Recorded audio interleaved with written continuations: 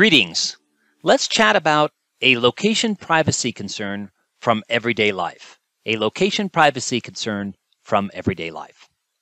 I recently presented at a GIS conference focused on community colleges.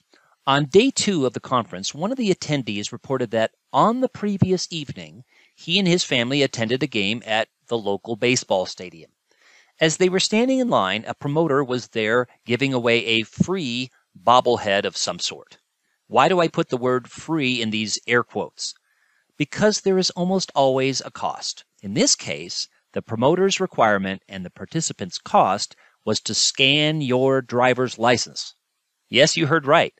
Scan your driver's license. That's certainly not free.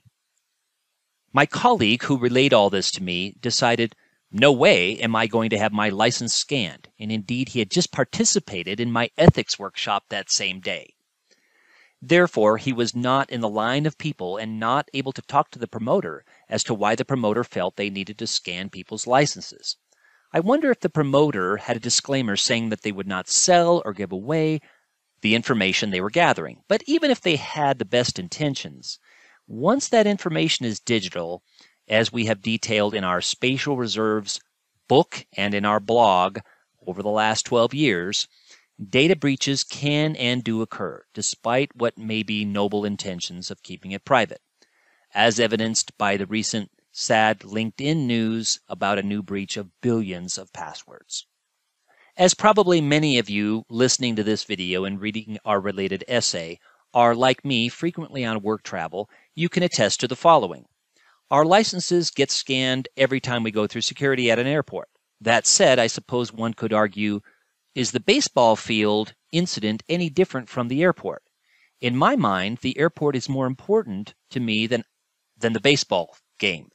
I have a few options at the airport for sure. If I don't agree to have my license scanned, I don't fly. But at the baseball game, I can take or leave the prize. It's not that important to me. If I can have one less scan of my personal information during the day, I regard that as a good thing, even if I miss out on what may have been an interesting prize. Let me just say here that there's no prize I can fathom worth scanning my personal information for. The most disturbing thing to me about the baseball game story is not so much that the promoters felt they needed to scan the licenses, but that, according to my colleague, there was a long line of people perfectly willing to have their licenses scanned.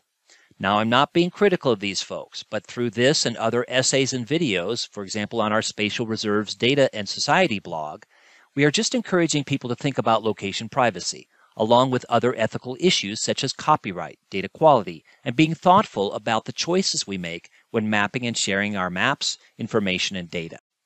What are your thoughts about this? Am I overly concerned about promotions such as this scanning personal information or not? And now for a geographic quiz for you all. Here's another stadium. I took a picture right here. Where is this located? Where is this located? This is not the stadium where the licenses were being scanned, but it is a wonderful stadium that I visited during one of my work travels. Any guesses as to where this is? I'll leave you with that. Keep on thinking spatially. Thanks.